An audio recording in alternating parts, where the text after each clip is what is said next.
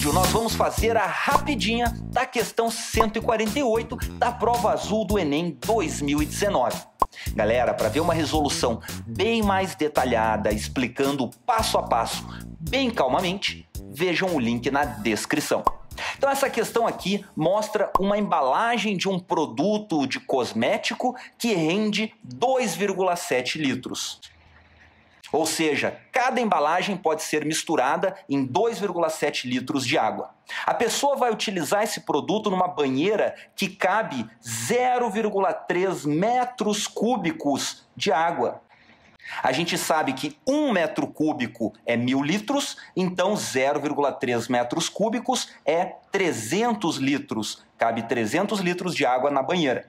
Só que a banheira vai ser preenchida com 80% da sua capacidade. Nós não vamos encher a, a, banheira até o talo, tem que deixar um espacinho né, para poder não transbordar. Então, como é que a gente calcula 80% de 300? é 0,80, né, que é 80%, D é vezes 300. Então isso aqui é a mesma coisa que 80 vezes 3, que dá 240 litros. Isso aqui é quanto de água a gente vai encher na banheira.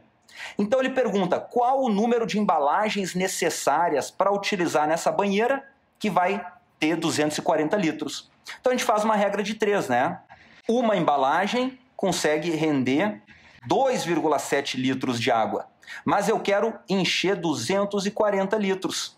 Quantas embalagens eu vou precisar? Nós temos então aqui uma regra de 3 simples e direta, basta multiplicar cruzado, que nós teremos então a equação de resposta. Vamos lá, 1 vezes 240 dá 240, interrogação vezes 2,7 dá 2,7 vezes interrogação.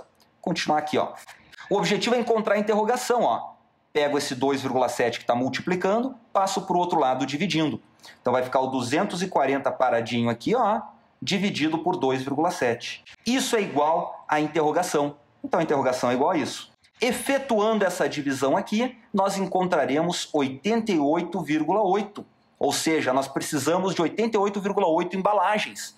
Mas como não existe um número quebrado de embalagens, a gente tem que comprar um número inteiro, nós vamos comprar 89 embalagens. Ou seja, o gabarito é letra Charlie.